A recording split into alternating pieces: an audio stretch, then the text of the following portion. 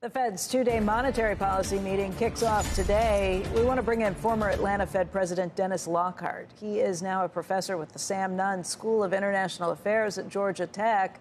And uh, Dennis, thank you for being here. I'm guessing you morning. think they're going to. Good raise... morning, Becky. Good morning. I'm guessing you think they're going to raise rates today, just uh, just like uh, just about everybody else in the world, right?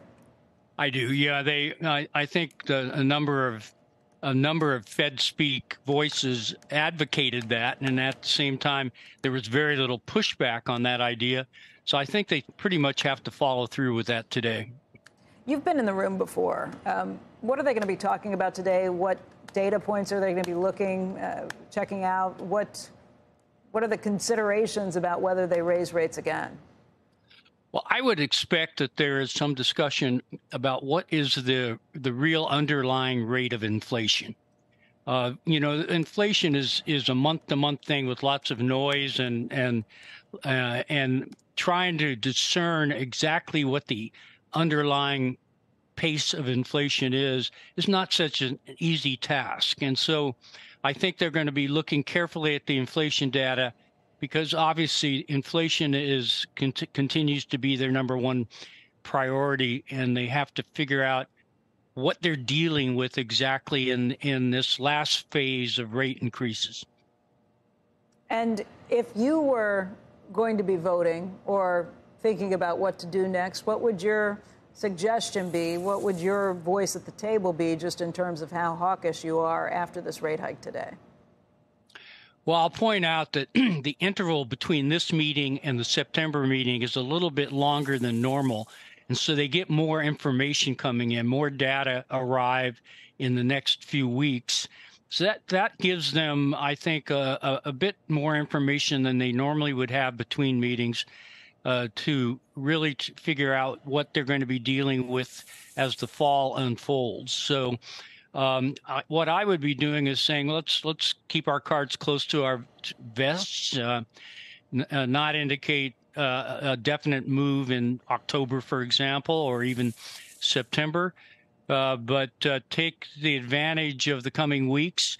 I, I'd also point out that Jay Powell normally speaks at Jackson Hole, and I think that gives him an an opportunity to uh, really explain the reaction function of the committee in the final phase. You do think, though, that a second second hike seems likely, at least at this point, right? I do. You know, there was discussion around the June uh, meeting of, of uh, whether they could substitute, effectively substitute, bank turbulence and credit tightening for another rate hike. The bank turbulence seems to have calmed down. There's news this morning um, of another merger that t- takes a weak bank off the table. And uh, so, I, uh, with that not in, apparently, at least not in play, I, I think the, their attitude will be uh, at least one more rate hike is required. We've been watching the markets so closely. The Dow up now 12 sessions in a row. It seems like this melt up that we're kind of watching with the markets. How big of a concern is that for the Fed, just in terms of additional stimulus or the wealth effect, or people just feeling better about things and maybe spending more as a result? Uh, certainly, it's plausible that the strong equity markets are feeding a fairly upbeat consumer sentiment, um, and that uh, consumer demand is being strengthened by people observing their wealth improving. so I, I, I think it's a factor in looking at financial conditions. The Fed looks at that question a little differently, I think, than perhaps uh, Wall Street does, because the equity component is less important. It's interest rates that I think matter to the Fed in terms of overall the overall position of financial conditions. Well, the if you look at the Treasury market. The Treasury market doesn't seem to believe that the Fed is really going to keep rates higher for longer. Do you?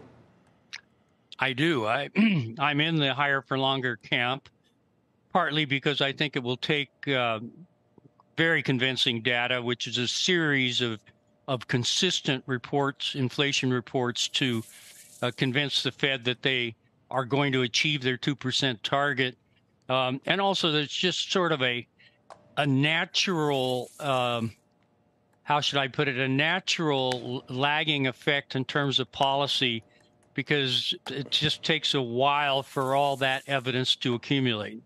What if there's another round of turbulence in the banking sector? Would that change your mind? Or if there's some big default when it comes to uh, real estate, corporate re- uh, real estate? Well, anything the anything the uh, the policymakers say about policy is conditional, and uh, you, know you have to start with assumptions of of continuing stability. But if they have another bout of financial turbulence, financial system or banking system turbulence, um, I, it certainly is going to factor in and perhaps be a, a, a cautionary point as they formulate policy in the coming months.